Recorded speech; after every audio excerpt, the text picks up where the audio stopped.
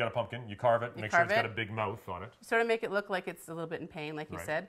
And then we're going to use this great guacamole recipe, and we're going to start putting it in its mouth and like it's falling out. Okay. Okay, so I'm going to get you to get a spoon. All right.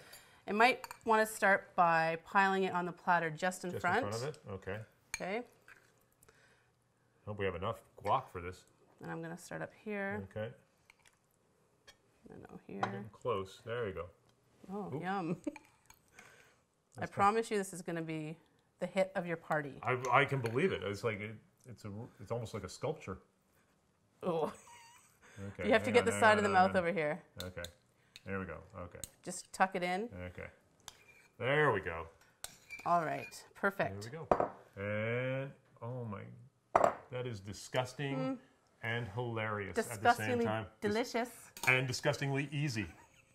I think we need a few chips to go with that. Oh right, yeah.